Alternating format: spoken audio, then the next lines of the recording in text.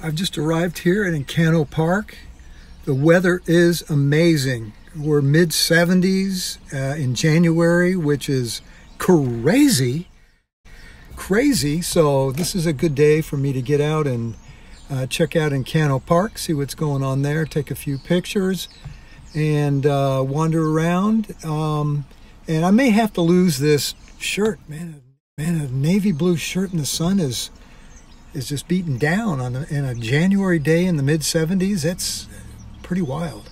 Anyway, let's uh, let's get out. Let's get going. Let's see what's going on in, in Cano Park.